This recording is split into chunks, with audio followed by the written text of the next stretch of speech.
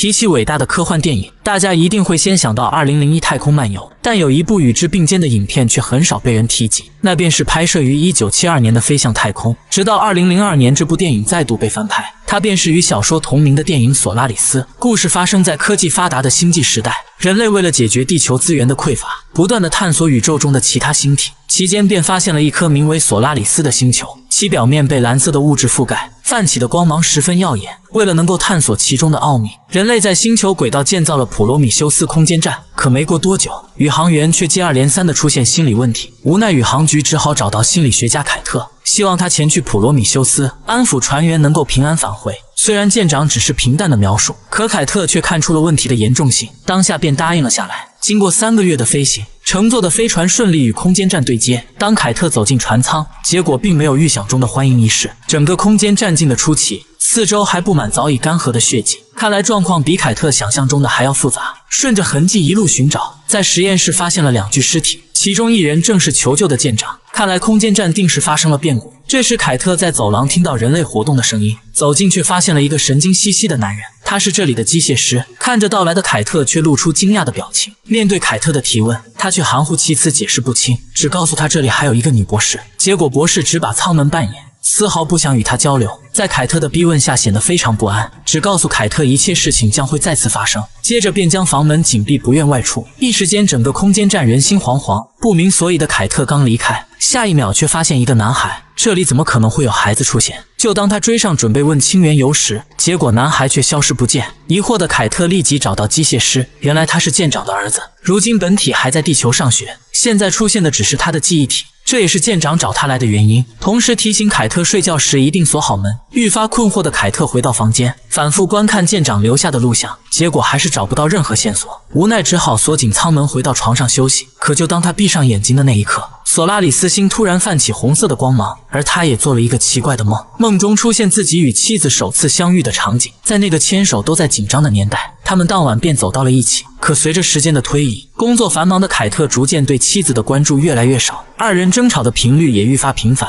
受尽孤独的艾丽还是选择了自缢身亡，转眼回到了现实。当凯特还沉浸在半真半假的梦境中，一只女人的手突然伸向了他，男人正陷入美梦中无法自拔。突然，一只手伸向了他的脖子，下意识的转身看去，吓得男人当场跳了起来。原来，女人正是他死去的妻子，不知道为何出现在他的床上。凯特开始以为只是自己眼花了，结果发现眼前的人真的是艾丽。不过很快，凯特便清醒过来，因为他只有地球的记忆，对身处索拉里斯星丝毫不知。显然，他也只是虚化出来的。想到这里，凯特找个借口将艾丽骗进了逃生舱中。在他错愕的目光下，果断启动了弹射装置。此时的凯特虽有满心不舍，但他认为这样才是最好的选择。理智告诉他，将虚化的艾丽留在身边，只会时刻提醒自己三年前的痛苦。可对艾丽的思念，还是让他陷入深深的自责。很快，凯特便在痛苦与希望中睡去。此时，索拉里斯星再次红光闪烁，凯特也在梦中回到与妻子的热恋时期。当他从梦境中苏醒，一切正如他期望那样，另一个艾丽果然出现在床边。这次，凯特不再恐惧和逃避，而是欣然接受了这一切。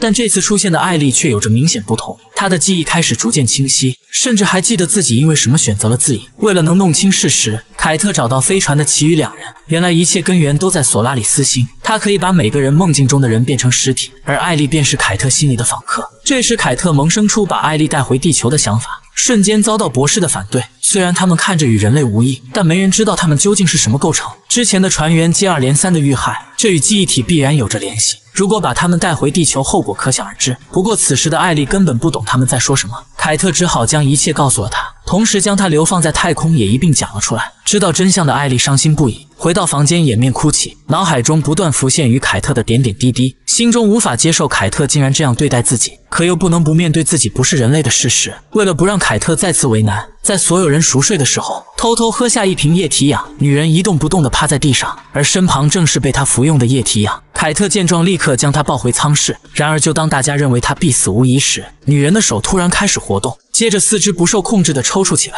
此时伤口正以肉眼可见的速度恢复着，而一旁的博士对此早已习惯。不一会，女人便活了过来。看到身边的男人，反而更加的崩溃，因为他不是人类，准确的说，他只是凯特记忆所产生的实体。一切的行为都会受到凯特的影响。但凯特一心只想留住艾丽，希望重新生活，弥补曾经的过错。但艾丽知道凯特不属于这里，希望他能够平安回到地球。所以在凯特熟睡时，艾丽多次找到博士，希望他用希格斯设备将自己驱散。而当凯特得知一切后，宁愿不睡觉也要守着艾丽。但这一切只能换来艾丽更加的心痛，因为凯特记忆中的艾丽便是自尽而亡，这也导致记忆体有着强烈的自杀倾向。果然，当迷糊中的凯特苏醒，发现艾丽为他留下的临终录像，知道了设备已经将他摧毁。凯特心里充满了悲伤，同时也知道艾丽不会操作设备，接着便愤怒地找到博士。然而博士仍然认为他们并非善类，杀掉他们是为人类能够活下去。然而就当二人为此争论不休时，凯特突然发现了天花板的异常，直到二人将扣板拆下，里面居然是机械师的尸体，而与他们在一起的机械师只是个记忆体。原来当初本体出于恐惧，打算将他杀掉，结果却被他反杀。一旁的博士打算用设备将他摧毁，